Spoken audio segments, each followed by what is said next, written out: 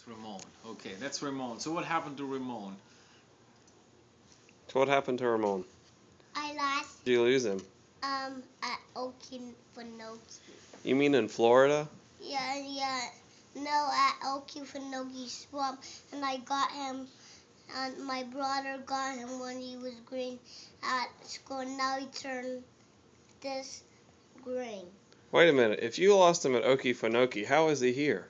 Um, he got here mm, because, because he got out of just swim all the way up, and he dived in the water and get stuck on the on the wa- dirt, and then he just went on a stream when we was at home, and he drove all the way to home.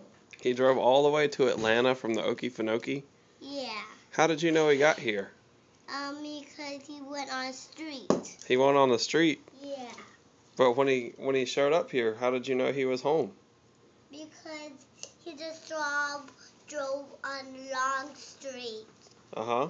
Mommy, can Are you glad he's back? can you surround? No, no, you got back. You got back. Are you gonna feed him that muffin? Oh, blood. Oh.